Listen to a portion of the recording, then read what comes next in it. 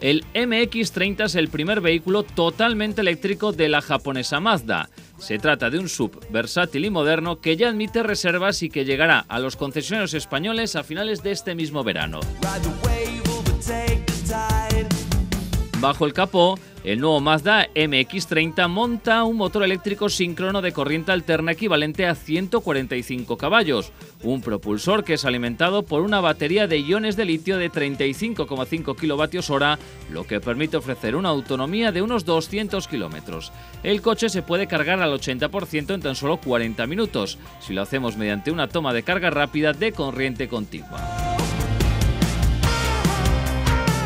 El diseño del nuevo MX30 es minimalista. Lo más reseñable de su carrocería son las puertas freestyle sin pilar central y su composición tritono que resalta el carácter abierto y espacioso del habitáculo.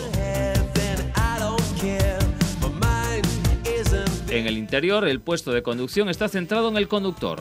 Ofrece una vistosa consola central flotante con una pantalla táctil de 7 pulgadas. En este vehículo 100% eléctrico no faltan materiales respetuosos con el medio ambiente como el corcho o los guarnecidos de las puertas, que incorporan fibras obtenidas a partir de botellas de plástico recicladas.